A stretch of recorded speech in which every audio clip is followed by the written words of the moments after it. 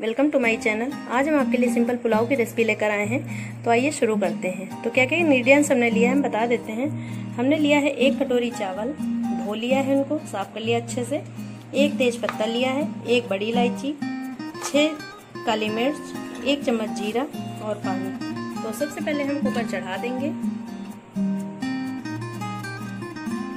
अब इसमें हम रिफाइंड ऑयल डाल देंगे थोड़ा सा। एक चम्मच के करीब हमने रिफाइंड ऑयल डाल दिया। जिस तरह से हम पुलाव बनाएँगे, इस तरह से बहुत झटपट बन जाता है। और ये तेज पत्ता काली मिर्च, इलायची और काली मिर्च डाल दिया हमने जीरा। अच्छे से हिला देंगे इसको।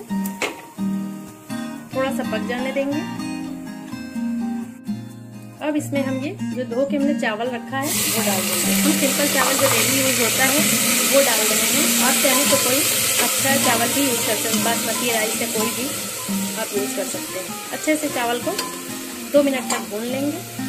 तो चावल को हमने अच्छे से भून लिया है, ये देखिए। अब इसमें हम ये पानी डाल देंगे। जितना हमने चावल लिया था, उतना ही हम ये पानी डाल देंगे। हमने पानी डाल दिया है।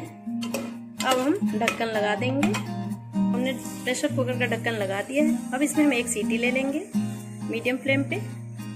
तो खोल के देखते हैं। प्रेशर निकल गया है। कुकर का ढक्कन खोलेंगे। ये देखिए, पुलाव बनकर बिल्कुल तैयार है। अब इसको हम बाउल में निकाल लेंगे। ये देखिए, बिल्कुल खिला खिला बना है। इस तरह से एक बार ट्राई ज़रूर करें। झटपट बन भी जाता है। अगर मेरी वीडियो आपको अच्छी लगी हो तो लाइक, शेयर एंड सब्सक्राइब करना ना भूलें। साथ ही बेल आइकन पर भी प्रेस कर दें। Thanks for watching. Bye bye.